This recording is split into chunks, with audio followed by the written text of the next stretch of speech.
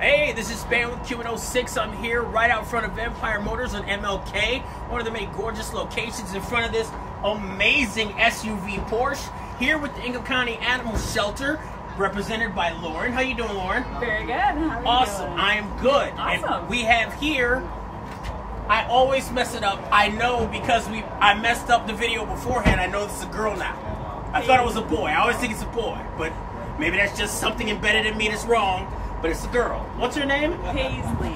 Paisley, and she's like one of the most be- well-behaved dogs. She looks like she wants none of this.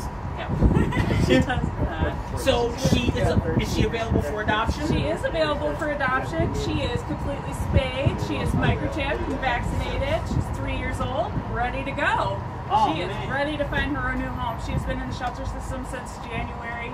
So again, she's ready to break out and find a new home and get some confidence. Awesome. She could, she needs a home. Look at her. Look at how great she looks in this handkerchief.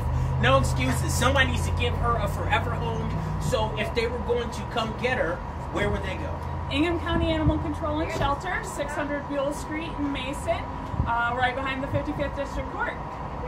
I love when you guys say the court. Yeah. Say behind the big boy. the big the boys. big boy, Yeah, that's so much easier to spot. You guys know the court. I don't know the court. Thank God.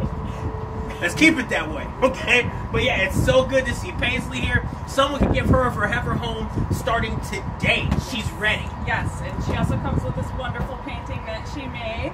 Uh, we're doing this with all of our dogs to make paintings that they go home with. She's like your own Salvador Dali, except she's a cat, a dog. I almost say cat. She's a dog.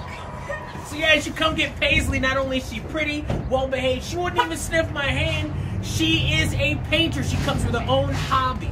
Come check them out. You should go to the Ingham County Animal Shelter. Thank you for having us here at Empire Motors on MLK.